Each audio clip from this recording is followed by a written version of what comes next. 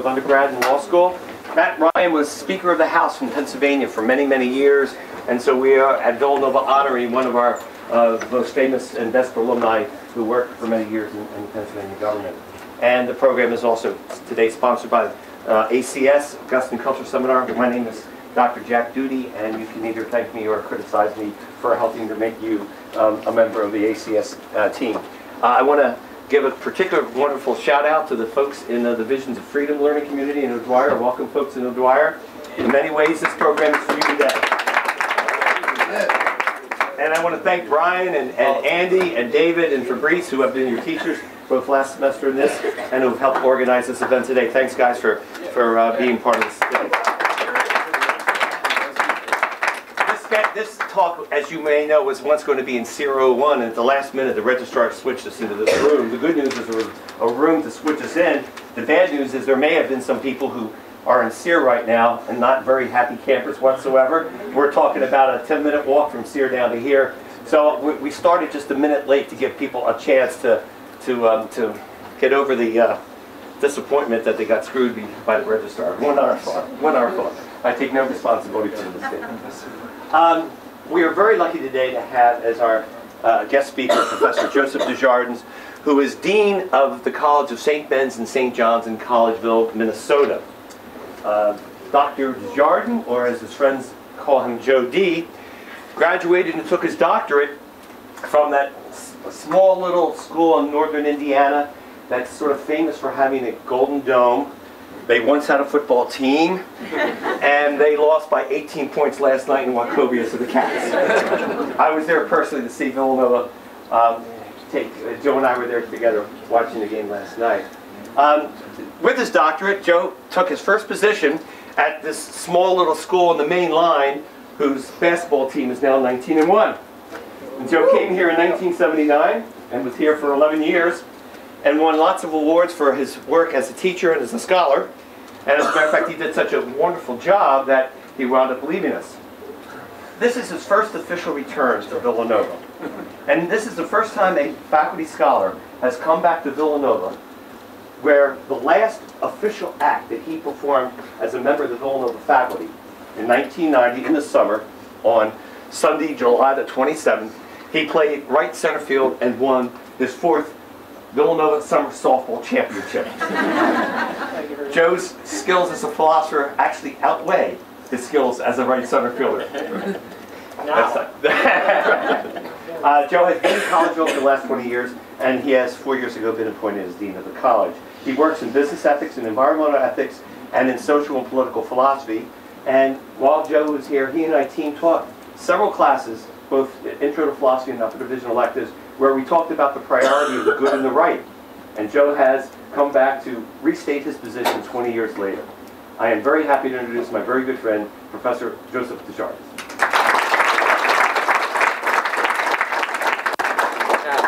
That's frightening, that introduction. Thanks, dude. Um, let me see if I can get this rolling first here. In honor of Jack Doody, of course. Um, my desktop. Here we go the boss. Um, just some preliminary comments. Uh, uh, unlike a lot of the, the talks and lectures you, you may go to, uh, this one is not complete. Um, th that is, a, dis despite what Jack just said, I don't have an answer that I'm here to push on you.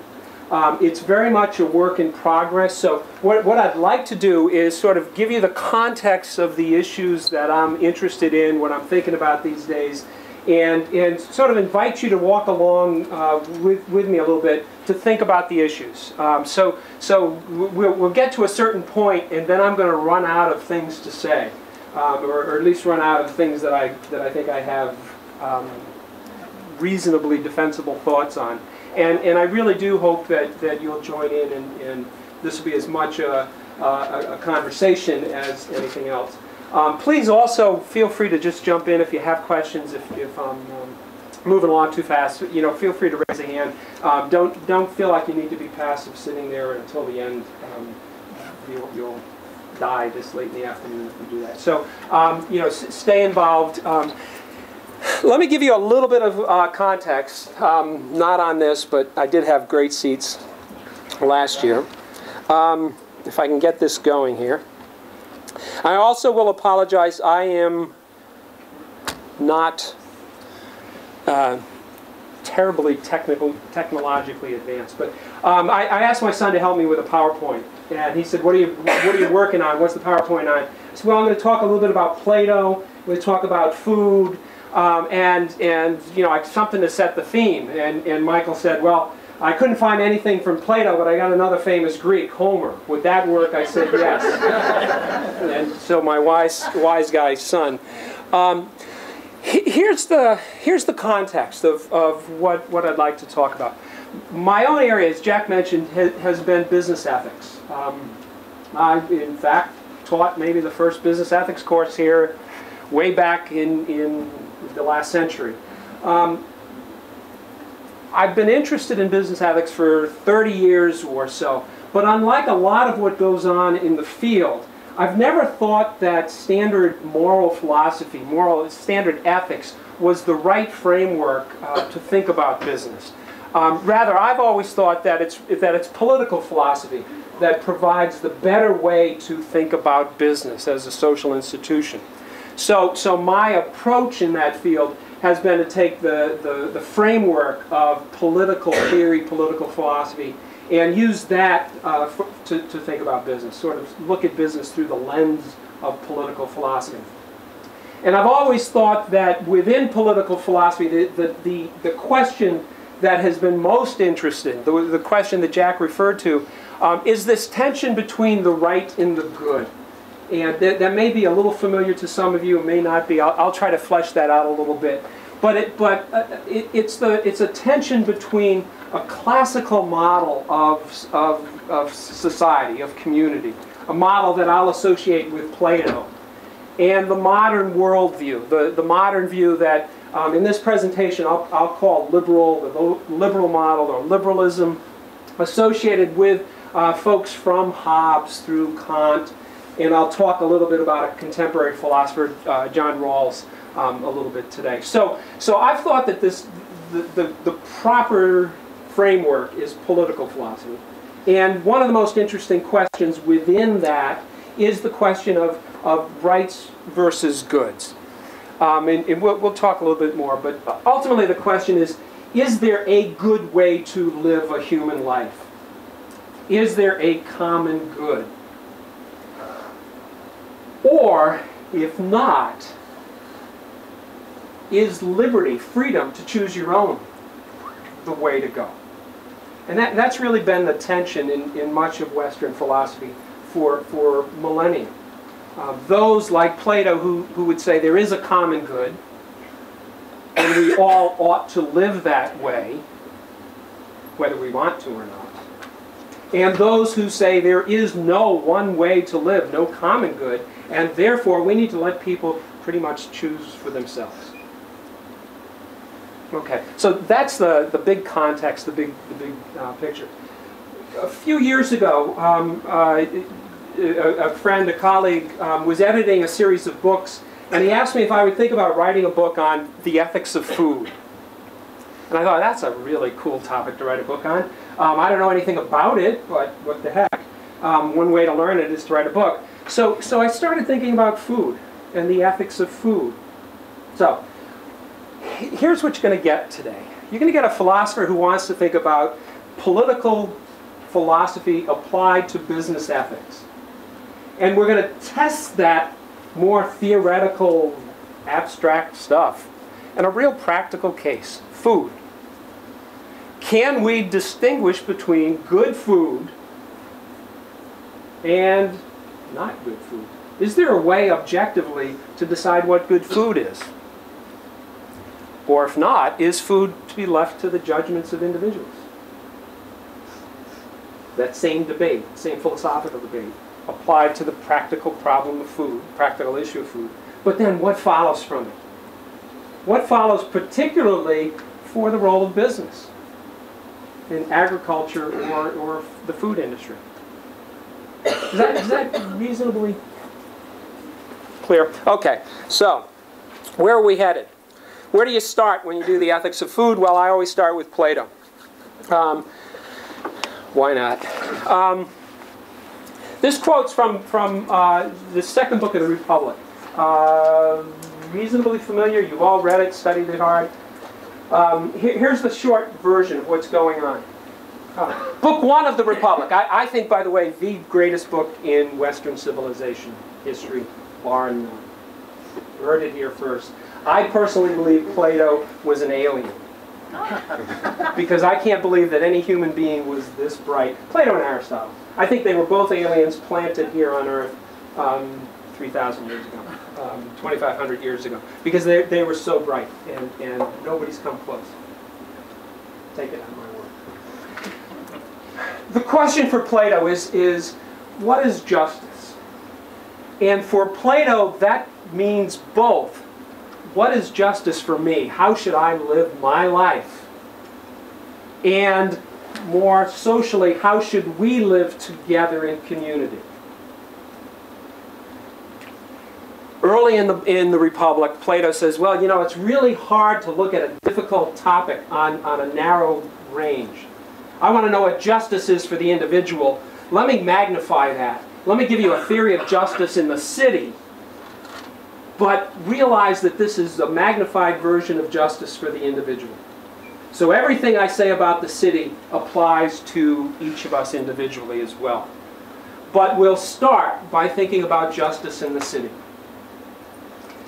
Where do cities, where do communities come from? And, and here's Plato's answer. Let's create a city from the beginning.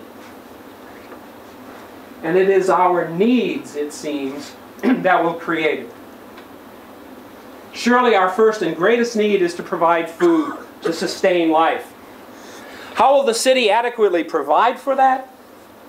Should one man be a farmer, another a builder, another a weaver? Should we add a cobbler, craftsman to look after our physical needs? Really cool start, right? Because with Plato, Book two of the Republic, we get the two fundamental questions, two fundamental philosophical questions about food. What's the difference between what makes good, what makes food good? How do we know good food from bad food? And how does food get produced?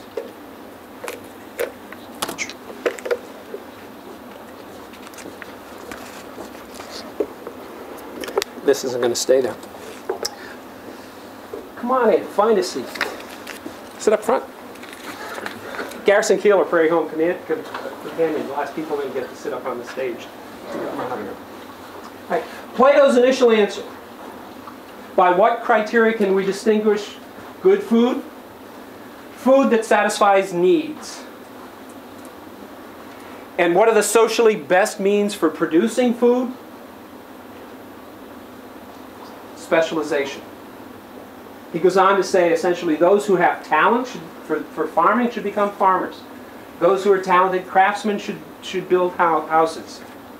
That is, Plato gives us the first version of the socialist dictum.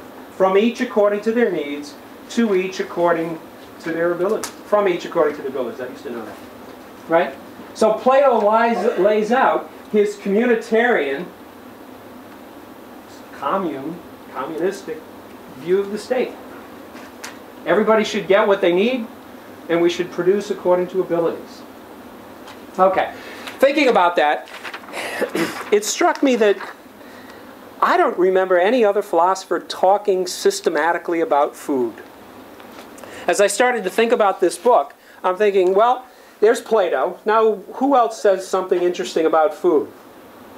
And I go looking, all right, let's look at some contemporary philosophers, and I turn to this fellow, John Rawls, who, who's um, in, in the, the philosophical traditions I work in, he's been the most, most influential person the last century, basically. From, from, uh, he, he's an American philosopher, just died recently. Wrote a major book called A Theory of Justice. Rawls talks 300 pages about justice. It doesn't ever mention food. What he mentions, health and vigor. And he says that he calls them natural goods. But he talks about the fundamental value, the primary social good that the city should protect is self-respect.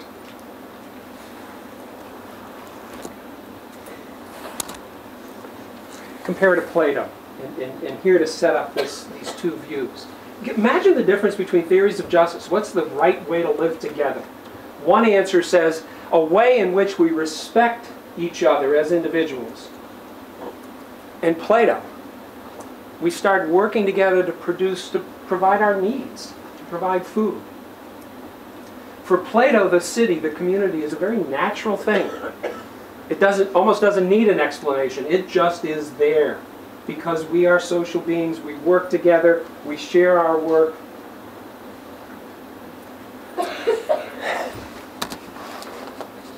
Also, Jack tells me you're all reading Hobbes, so I had to throw my man Hobbes in as well. Um, Hobbes very much in the tradition, one of the one of the first philosophers in this liberal tradition. Um, what are human beings naturally like? Where do where do societies, where, do this, where does the state come into existence? Hobbes, you know it, when we're living outside of government, without a government, without common power, our lives is a life of war. Every man against every other. Right, I, hopefully you all know the, the quote. Again, Plato. Uh, Plato starts out, we're working together. Why don't you farm, I'll build a house, you make the shoes, you make clothes, and then we'll exchange them. We'll specialize, we'll work together, we'll satisfy our needs. Right? The community is a very natural enterprise.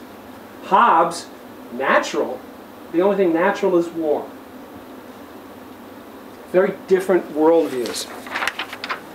Okay, let me, let me push this on a little bit into this framework, speak much framework of the right over the good.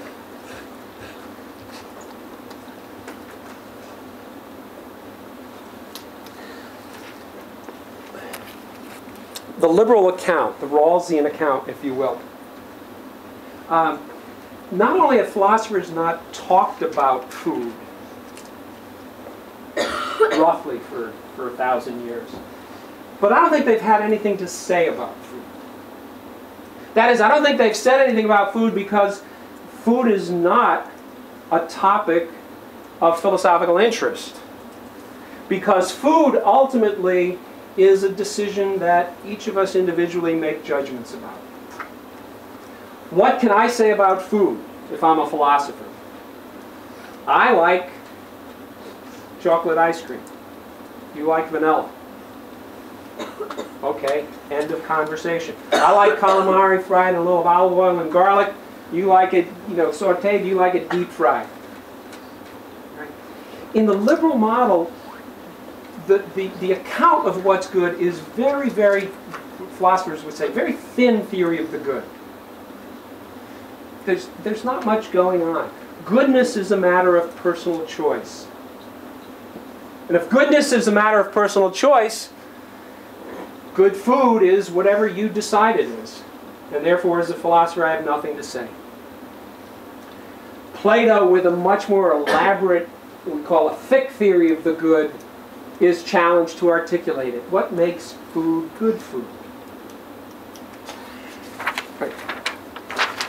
why in this liberal model from Hobbes through Rawls can't we say anything interesting about good food? Philosophical, if you will. The general statement is because there's no rational way to judge good from bad. The reason philosophically we want to focus on rights and justice rather than good is that we don't have a way of judging what's good. Who's to say what's good or bad? And especially about food. Fight in the Desjardins household for, for decades with my kids. Right? Eat this food. Why? It's good for you. I don't like it. My sons grew up on Cinnamon Toast Crunch. I would try to get them to eat oatmeal. My sons ate almost all beige food. Pasta, nothing spicy on it. Potatoes, bananas, ice cream, nothing of color, nothing green. and we'd have these arguments. You can't eat this. Why not? I like it. Right? Who are you to say that this is good food? Who are you to say? We would fight it. Right? And, and you all, you're laughing because you all are saying, yeah, you agree. Who's to judge what's good or bad? Hobbes. I love this. I, quote isn't completely connected, but I love this quote. Hobbes. What's he saying? By manners, I mean here not decency of behavior, like picking your teeth in public. By manners, what do I mean? Those qualities of mankind that concern our living together in peace. Hobbes is in effect equating manners with ethics. How do we get along together? Is for Hobbes not some major philosophical question of justice, but it's like a question of do you put your knives on the right or left side of the plate? It's a matter of etiquette. Why? Is that, is that all that ethics is? Yes, says Hobbes, because there is no such thing as a good common to all of us. The summum bonum. There is no such thing as the good. There is no good way to live. So we're left with, let's try to get along. It offends me when you pick your teeth in company. Hobbes' example, right? I find that offensive. So don't do it. It'll help us get along a little bit. For Hobbes, that's an ethical problem, a moral issue. Okay. There is no objective grounding for good or bad in this liberal model. From Hobbes, Immanuel Kant, John Rawls. Because goodness isn't in the object. Right? The word means objective. If it's objective, you can find it in the object. Well, give me the object and show me where good is. Food, an apple. What's, can you find good in there? It's not in the object. Where does the goodness come in from? The goodness comes in from my judgment of it. You can't have good without a subject to make the judgment. So good and bad is a subjective judgment rather than about the object itself.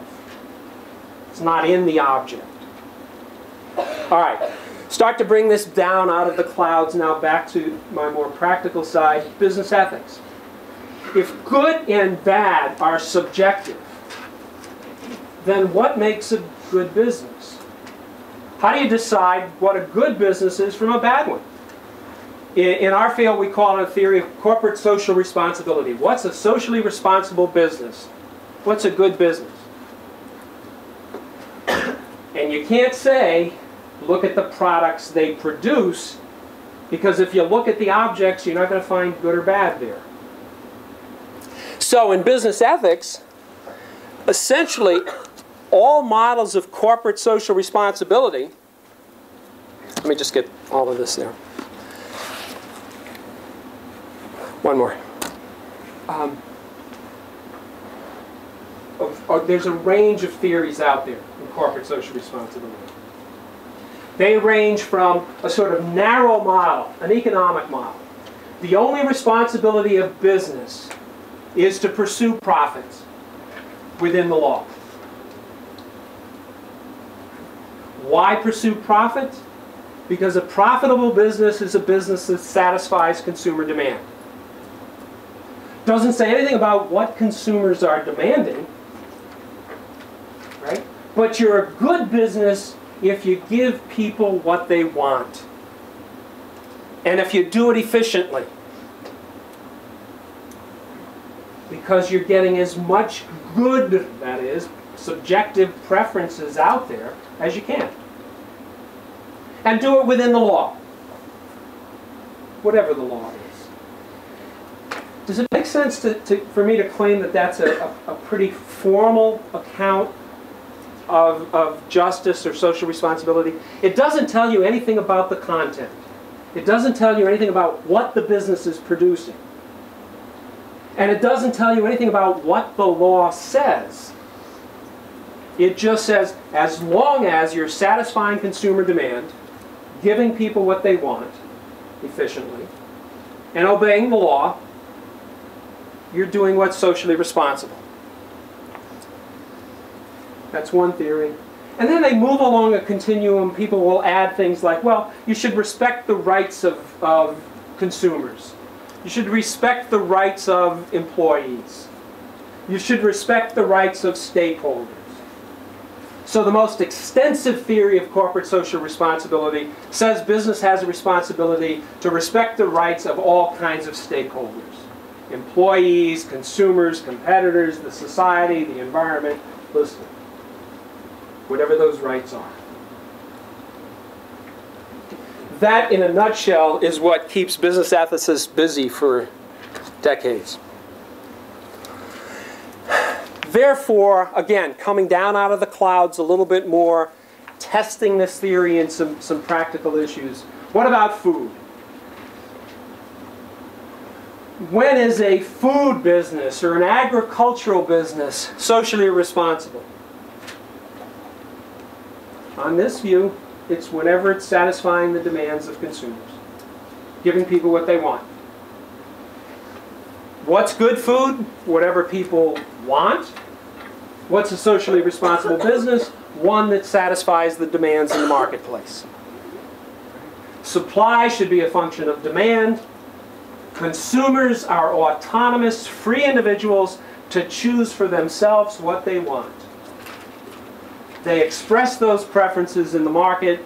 Business satisfies those, and if you're doing it efficiently, you make a profit. And obey the law. Is, is that, let me back off a little bit. I'm, I'm throwing a lot at you at the start, but reasonably clear. Yes, sir. Crystal Uh, uh, One question, it it seems as if here the production and consu- consumption are conflated, as you stated it there a little bit. And it is hard to say how you can put demand for production with consumers. Can you elaborate a bit? Um, on, on, on sort of this model, what gets produced is a function of what consumers are demanding. Okay. Right. So that, that's all I would mean by that. Um, now, now, obviously, the, the interesting philosophical, psychological question, um, practical marketing question: Is that true? How many consumers were, you know, demanding the flexible iPad that came out yesterday? Wa- Was this produced in response to the market or not? But the, you know, there's an interesting, interesting question. Yes, sir. This model, it doesn't take into account at all the manner by which something become productive or Yeah, yeah. That, that's a real good question. Um, I think I think the, the the question was, does this model not take into account the, the means of production, if you will, how things get produced? And I think typically the answer is as long as it's produced in a way that respects the law, is it legal?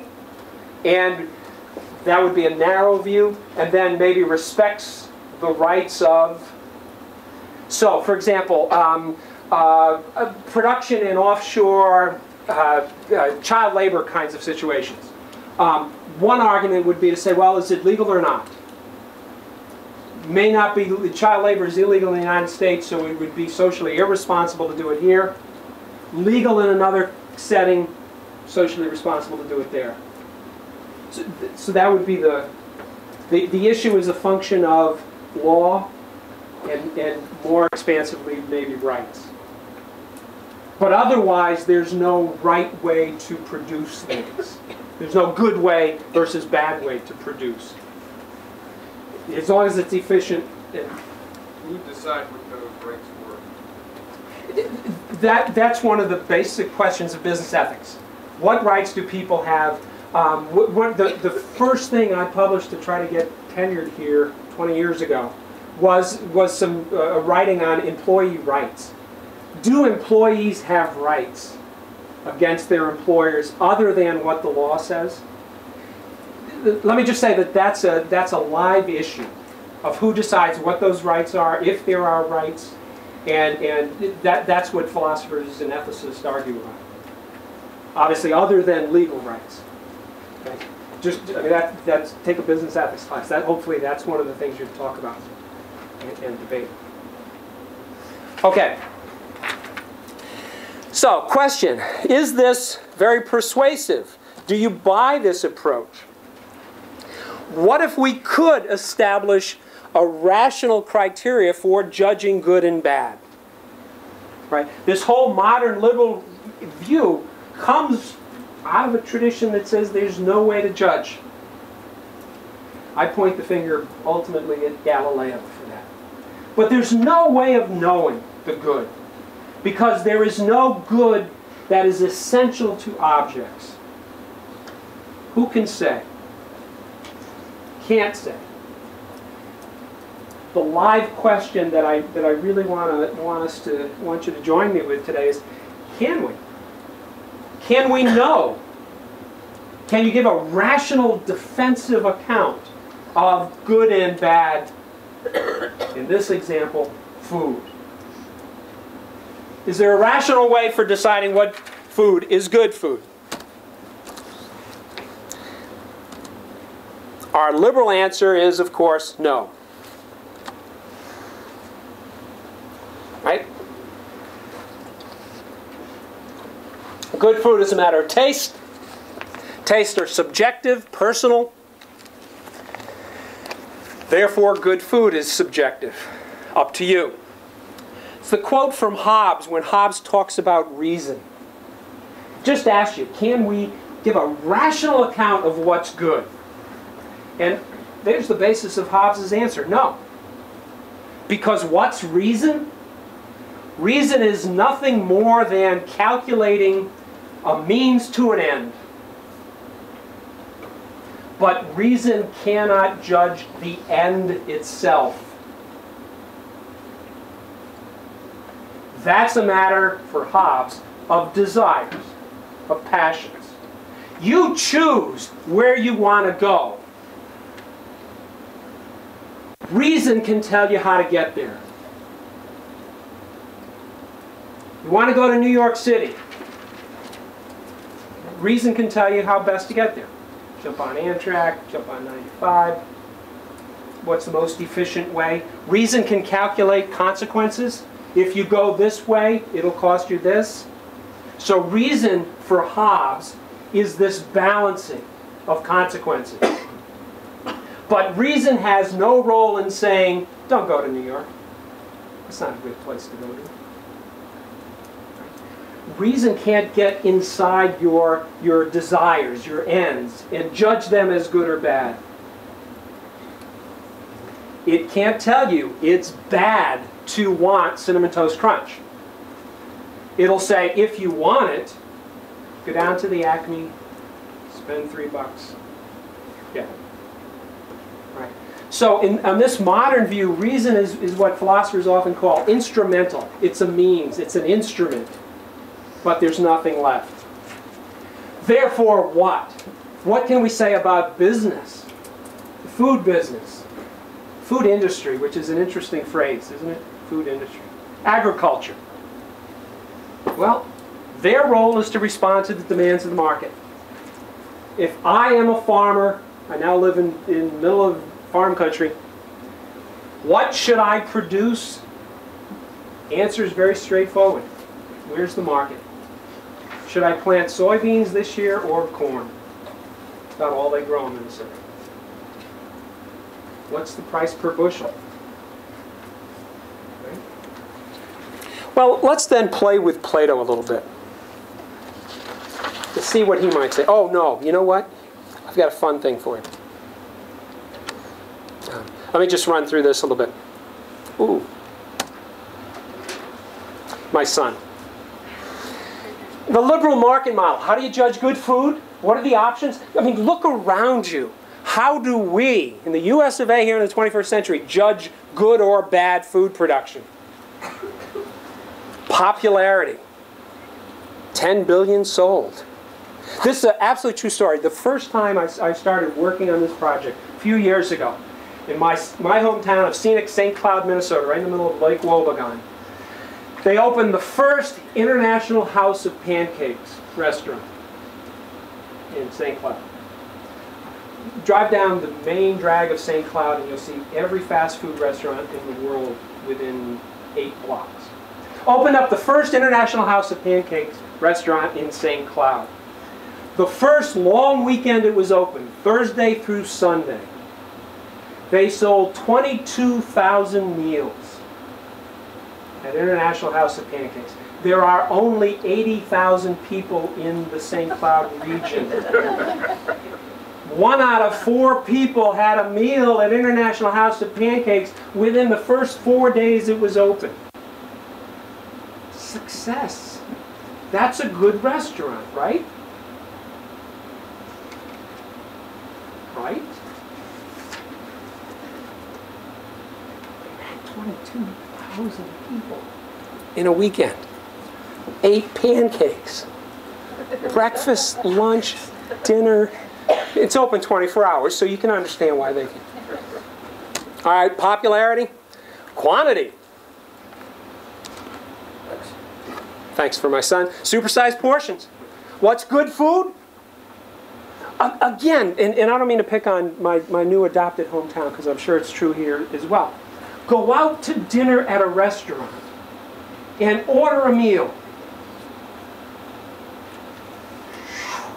Have you ever finished the meal?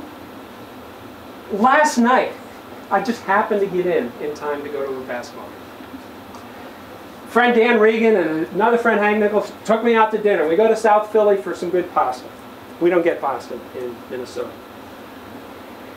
Ordered appetizers that could feed half of the state.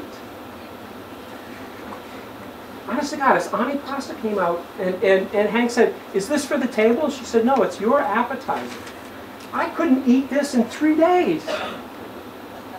Honest to God, huge plate. I mean, think of how people, wow, let's go to McDonald's. Supersize for only another 15 cents, I can get a gallon of soda. My other all-time favorite, all you can eat. There's, there's, a, there's a Chinese restaurant right where I turn heading home every night.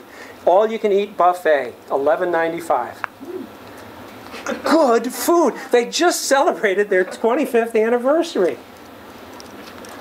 And, and, and again, I'll pick on St. Cloud, but, um, and price. All of these, right, are formal, empty criteria. They don't say anything about the food. They say more, cheap, lots, popular. They don't say anything about quality. Right? That, that the, the, the Platonic criticism of the modern world, at least this modern world, is that it's lost the language to talk about quality. We, we don't know what to say about food. It's good, it's a lot, it's cheap. All you can eat, $11.95. Is it good? Yeah. Okay. You should be getting a little nervous now, right? Because, because this is a real sort of classical critique of our culture right? The culture that knows the cost of everything but the value of nothing. That's how we live, right? I live this way. Oh, yeah, my all time other favorite convenience. Is it good food? Yeah, I don't even have to stop my car to eat it. You know, drive through windows. Okay, I'll, I'll, I'll pick on Jack Doody a little bit today. Got in his car, he's driving a nice BMW, you know, must be nice. Um, he said, it's so goofy. You can barely get to the beverage holder. Now, I moved to Minnesota because my wife, God bless her, the fourth generation of a family, runs a family business. Happens to be a Volkswagen dealership. And her father was retiring, and she gave me an option to come with her and the kids or stay with my friends here in Philadelphia. 20 years later, you get the story. until very recently, Volkswagens did not put beverage holders in their cars. Why? Because you Americans are bizarre to eat and drink while you're driving. You drive for driving at 180 miles an hour in the Autobahn. And when you eat, stop. Sit down. Spend some time. I mean, it, it, the, for the Germans, quite literally, it was a, a, a, they, they gave in. They lost the fight. You now get a double cup holder in a VW. But they didn't want to do it. They consciously did not do it. They didn't want to cave into the American convenience market. But now Jack has his BMW and he can put his morning coffee in the side and drink and drive. Uh, I'm not making this up. Of course, we always have the law to tell you what's right. Can't be dangerous. All right, so humor me and play with me a little bit on, on what Plato would say about this. How are we doing for time? We're okay. Right after, in Book 2, when Plato starts forming this just community, the ideal community, and, and it's really a thought experiment. He said, let's just think along together. What would an ideal city be like? No constraints. We can imagine anything we want. What is the ideal city? Just allocate responsibilities. You be a farmer, you be a shoemaker, you build houses. And then he says, what will people be like in that city? And here's how he starts to describe them. They will eat barley meal and wheat flour, kneading them, making noble cakes and loaves. These they will serve up on a mat of reeds or in clean leaves, themselves while reclining upon beds strewn with myrtle.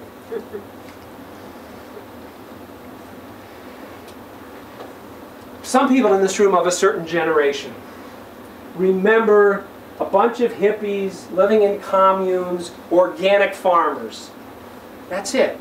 Right? Go to the farmer's co-op. Go to the local co-op. And what are you going to find? You're going to find whole grains, barley meal, wheat flour.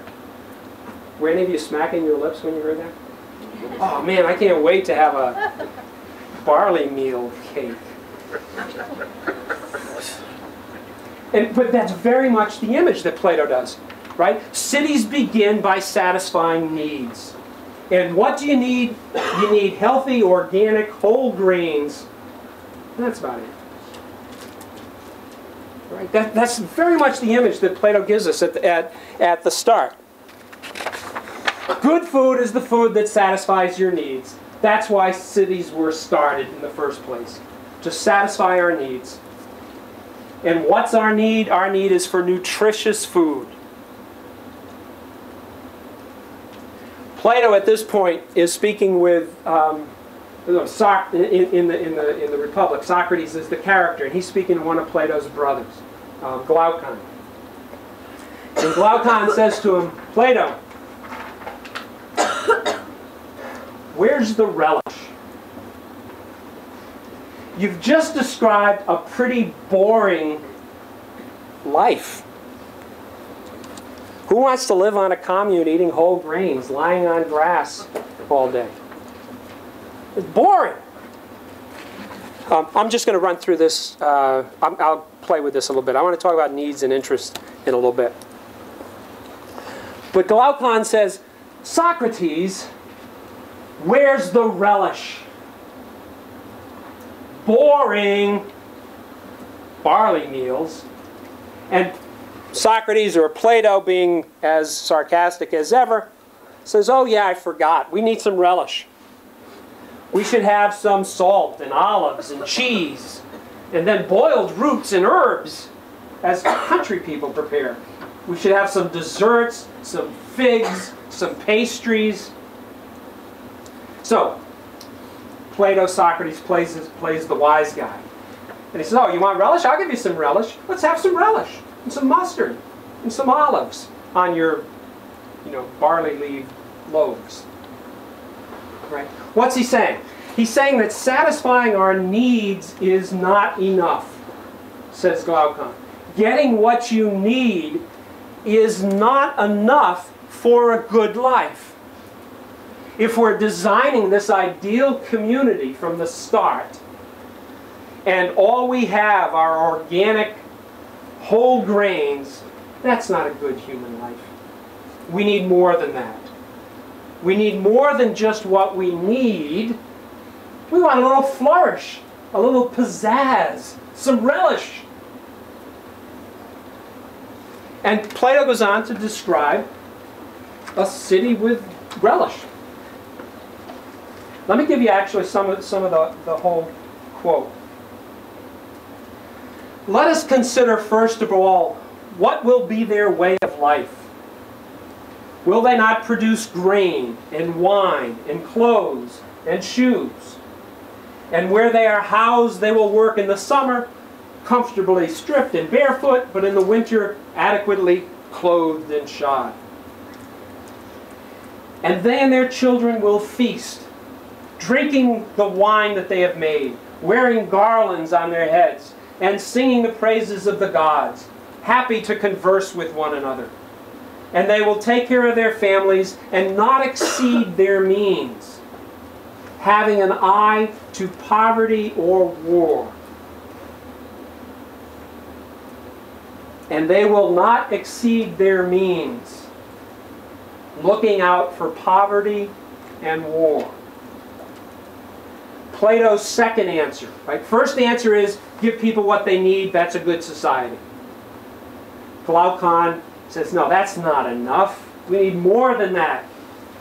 And Plato says, all right, how about this? Get what you need. You get a little pizzazz, a little relish, but not too much more. Not too much more. What you're looking to do is balance poverty, not having enough, and our dear friend Hobbes having too much is going to lead to war, he suggests.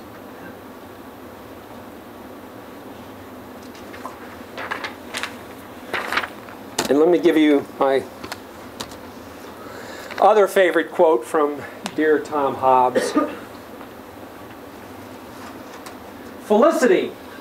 We don't have language like that. Great word, felicity. Happiness. What's happiness, Hobbes? Happiness is the continual progress of the desires from one object to another. I know what that means for a minute. Happiness is the continual progress of desires from one object to another.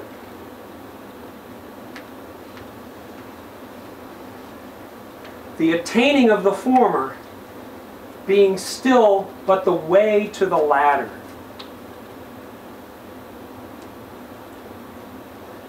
Happiness isn't getting what you want. Happiness is striving for what you want. And whenever you get it, striving for more. It's the continual movement towards getting what you want. And anytime you get what you want, guess what? You want something more. Now,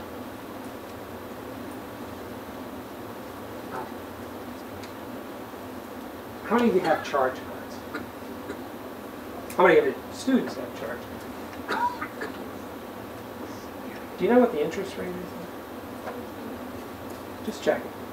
Just checking. What happened with the subprime mortgage collapse? What was driving that? Here's my take. I'm really going to dump on students today. My take is people who graduate college thought that they should have a house. Couldn't afford it, but bought one. And then in a few years thought you needed a bigger house. So you leverage the first one, buy the second one, which you then leverage to buy the third and fourth and fifth and eighth one. Right?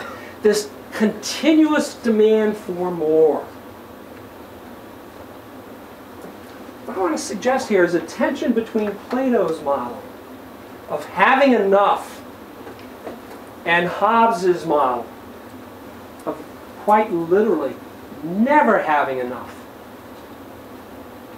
Because you're never going to be happy if you stop desiring. If happiness is pursuing what you want, the minute you're satisfied, you're unhappy.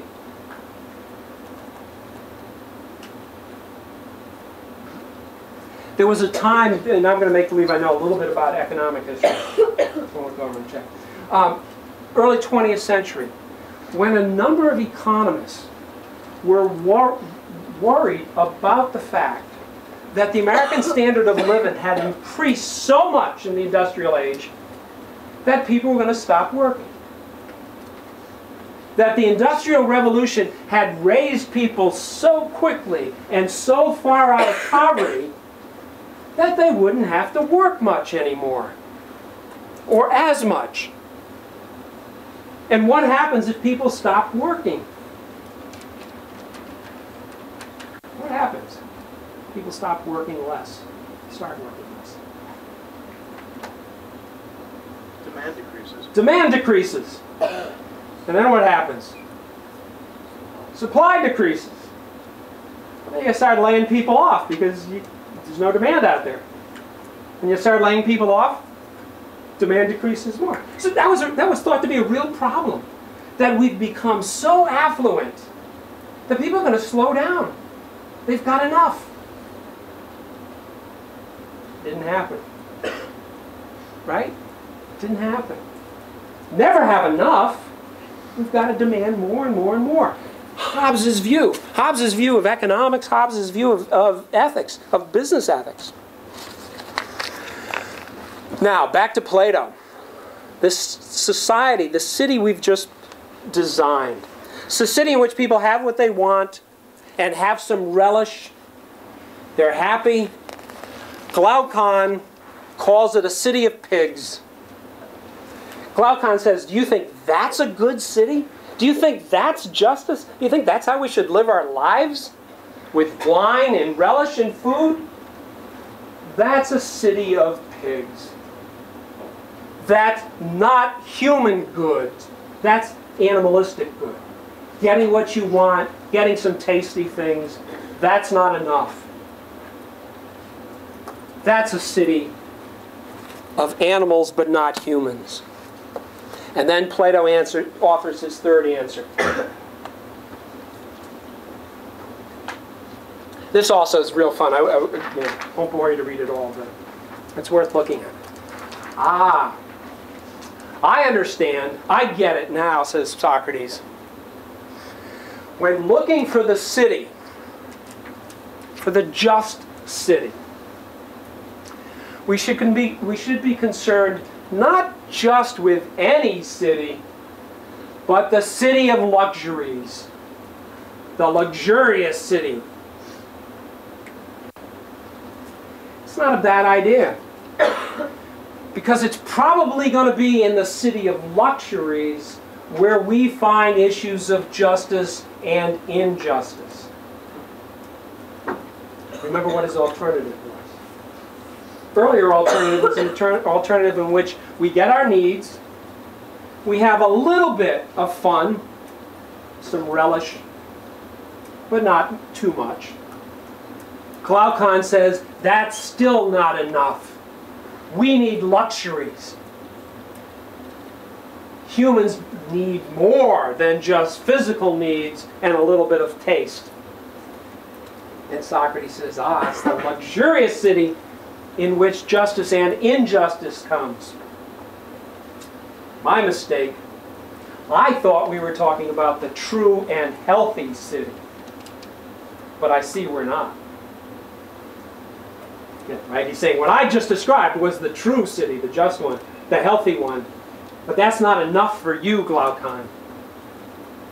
Not enough. You want the feverish city. The sick one. Right? The city of luxuries is, Plato seems to be suggesting, a sick city, a feverish one. All right, I see you're not going to be satisfied with my simpler way of life. You want luxury.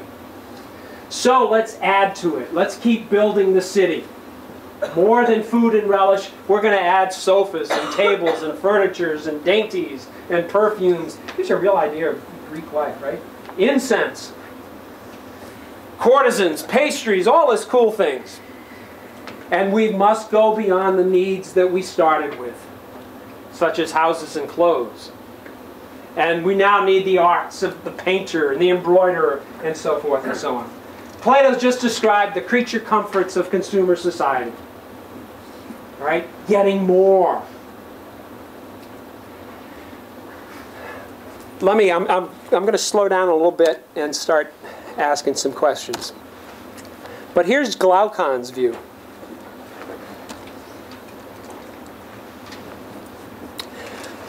Glaucon. Just city is the city that meets our needs. It's a city that moves beyond consumer desires, because that'd be a city of pigs. It's a city of culture. Glaucon's view. It's a city where we have the finer things in life. Embroidery, art, sofa, furniture. It's a city where you don't shop at Walmart. You shop out on the main line someplace. That, that, as it turns out, that's who Glaucon is. Glaucon is the aristocrat. And Glaucon's saying the good city is not the city of merely creature comforts. Creature comforts is the city of pigs. The good city has higher ambitions than that, seeks higher goods than mere needs and creature desires. The city, the good city, is the city of the educated. That short, short version is why you're all here, at least in theory. Why go to a college of arts and sciences? Why go to a liberal arts school? I think most of you are in college arts and science, right? No? Oh. What's the difference between going to take a, majoring in, in philosophy and majoring in finance? Why would society ever create universities rather than job training schools? What are universities trying to teach you? I want to play a little bit with the notion of liberal arts. Why do they call them the liberal arts? you remember playing with that for a second? What are you supposed to learn here? Please don't say, get a job. Why are you taking courses in political theory and philosophy? And revising the curriculum for pretty soon, maybe not fine arts, but maybe theater. Why?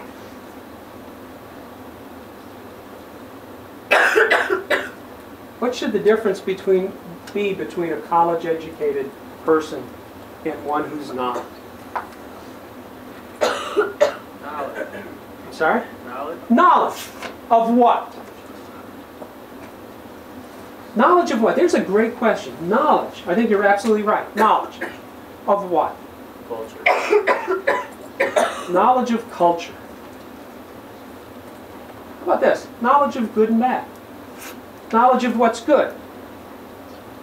Knowledge so that when you go out there, you will enjoy good things. Like food. Rather than just anything. How's that? I'm, I'm gonna I'm gonna back off in a second. I promise. Plato says those aristocrats, those people who do have knowledge of the finer things in life, those people who do have knowledge of culture, the finer things, they are like philosophers. Because Glaucon's saying, we've just described the just city, I think. And it's a city in which people like me, people of well, of good training, of culture, aristocratic people, are the rulers, right? Isn't that what we just described, Plato? And Plato says, not quite. The just city is a city ruled by, thank you very much, philosophers. And Glaucon says, didn't I just describe them? There are people who know good things. And Plato says, you're pretty close. The philosopher does have knowledge, but the philosopher knows not just good things, but the philosopher knows the good. Now, that's sort of the end of, of where I wanted to push you. Now I want to would tease out from you some thinking. Bring it back down out of the clouds and ask you, can we get an account of the good life? Let's just start with the. I want to suggest there are two levels here. There's Glaucon, the aristocratic, the good life. And then there's a potential higher level, the philosopher's good. So let's start with the good life. Humor me. Can you judge good and bad? Very practical issue about food. Where I want to go with this in business is can we say that some products ought not to be produced? Why not? Because they're bad. This alternative of corporate social responsibility, a Platonic model, says that a business is responsible not just by re replying to the market, but by producing good things. What do you think? Stop for a minute. What do you think? Really, honestly. Sure. Proclivities, my judgment. Sure. Do you ever want to say to somebody, you're wrong about taste? Again, I want to stay with food as just a real kind of fun, gutsy example. What's your favorite food? Pizza. Pizza. Is that good food? Uh, Joe? Can there be good pizza? Is there bad pizza? What's the difference? What's the difference? I'm going to stay over here for a minute. I want to talk to my friends over here. in the Uh, suite. Um, what, what's bad pizza? What's bad about pizza? What? No, what's a bad pizza? Uh, like sometimes in this market they don't put sauce in this one type of pizza pizza without sauce. I forget what it's called. You know, you know the example Plato uses? Right, I'm not making this up. This is right out of Plato. You know the example, one of the first examples he turns to is wine. What's good wine? Strong. Strong. Get you where you want to go. Mogen David 2020. Catawba Pink. Boone's Farm Apple. I'm going through the list of the wines I drank as an undergraduate. Boone's Farm Apple Wine.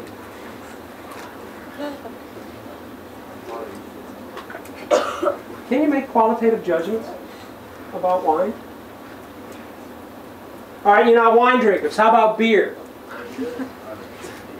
Miller Golden Draft Light Water Coors Michelob. Good beer? Good beer, anybody? Budweiser's good beer. Budweiser? Ah, Yuengling. Yuengling's good beer. Is it a matter of taste? Is it in the object? Can you learn good and bad with food? Is it, is it a matter of knowledge? Can you learn? Can you be taught?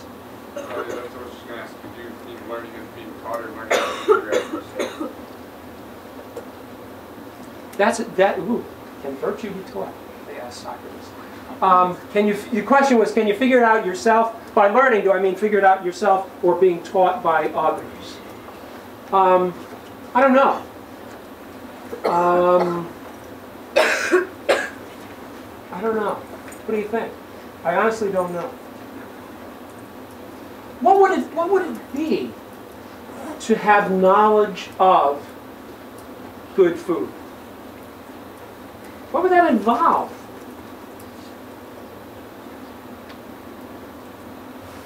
Well, maybe I could do the opposite. Knowledge of bad food could start as a minimum of food, or especially wine or beer, that makes me feel sick the next day somehow. Okay, Or a wine that gives me a headache, wine makes me wake up with a headache every time. okay.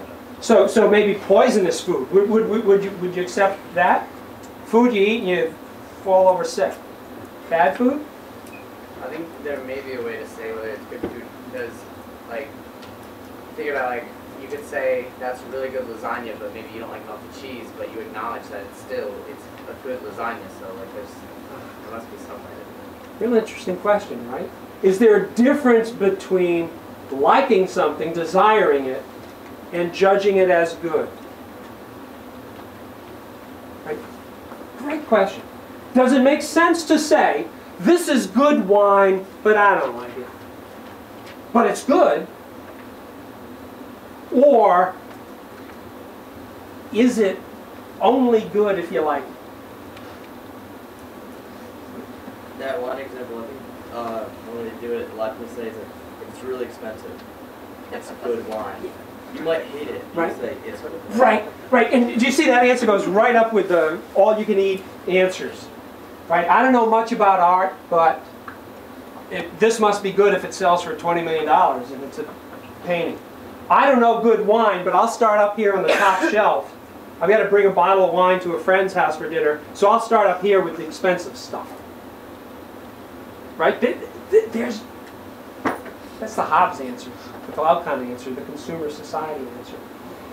That's good. It's just good marketing. It, it, right, it's good marketing, which is a way of getting somebody to do something.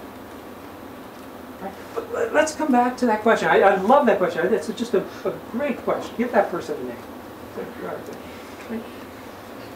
Does, does it literally, does it make sense to you? Does it, is it, is it at all sensible to say, this is good, but I don't want it, or I don't like it, and I like this, but it ain't good.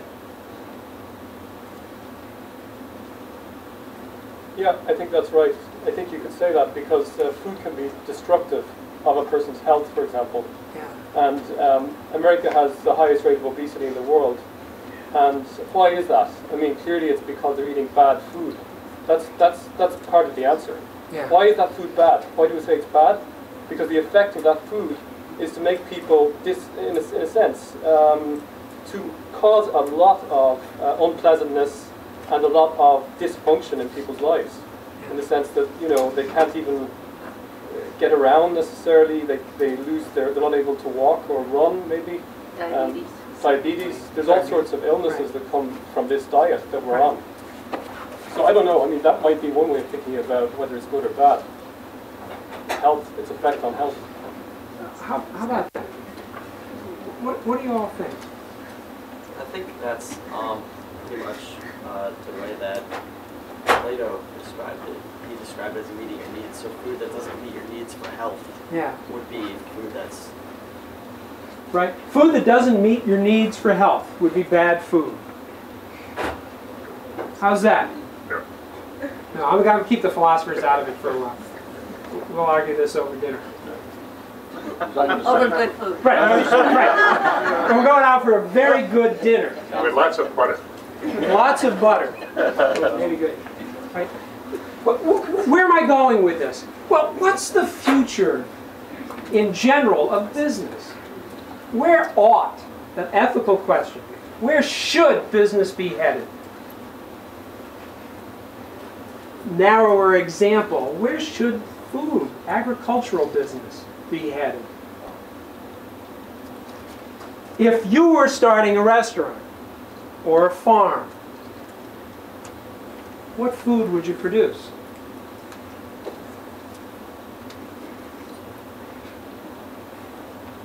How would you produce it? The question was asked earlier. Are there good ways to produce food? Um, I would produce whatever provided me with the most profit in the most efficient manner, because then I'd be able to satisfy my own needs with profit and unlimited. Yeah. Profit answer. You know what? You know what the most profitable uh, grain is in Minnesota? Feed corn. And and, I, and it has to be both because if you've never seen it, my mistake when I first moved out there was to actually take a ear of corn off our, you know, feed corn. It's not fit for human consumption. It's fit for cows. Very profitable. Right? There's the, there's the modern answer. But in response to that, that's just the best good for the human. I mean, that's not good for the environment, for the animal, potentially, depending. So how do you reconcile good? I mean, are you just looking at good in terms of good for humans, or good for the whole society? Yeah. You tell me. Right. Why does anybody care about a book on the ethics of food now? Why, why, why do they? Why, why does some publisher want a book on the ethics of food?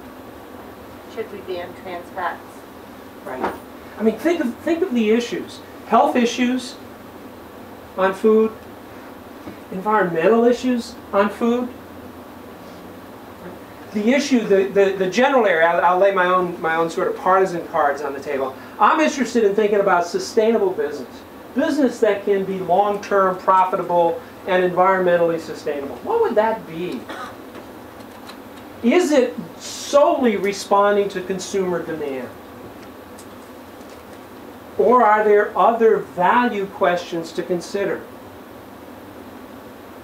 That's why, you know, again, I'm, I'm, I'm sort of letting you know where, where my, my own views are. That's why I'm interested in Plato. Is there a way of judging good that's enough to avoid poverty and boring lives, but not so much that we all become Hobbesian? That is, can you get in and make qualitative judgments about, again, as an example, food, but more generally, products?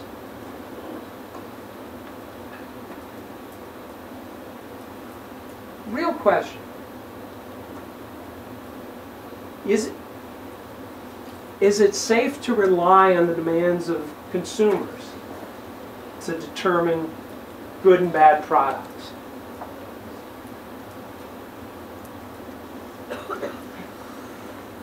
Yes. Well, uh, no, in a sense, that's why somebody said the city should be run by the philosophers.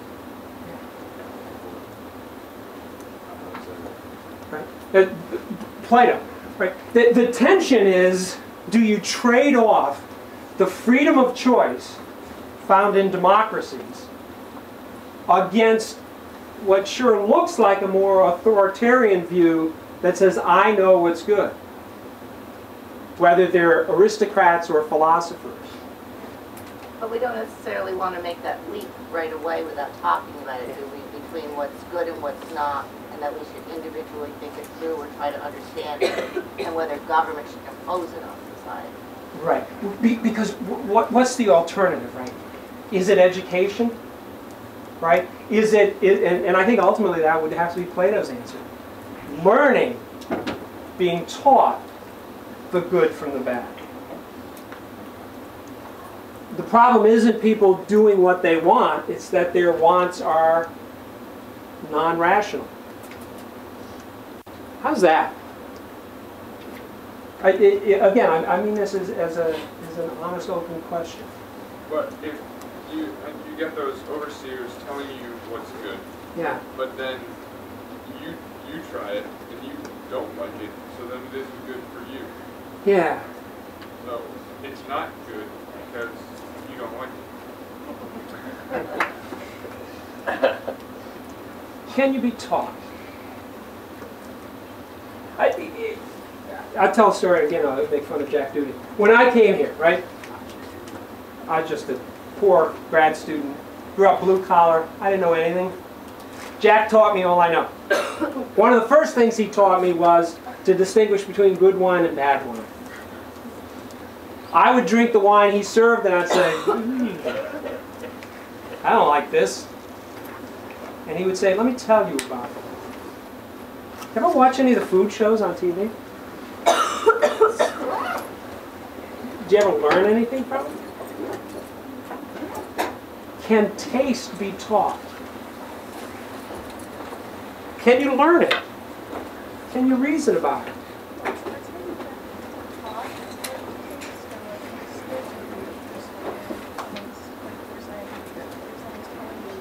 Yeah. The, the, the response was it can't be taught, but you might be persuaded.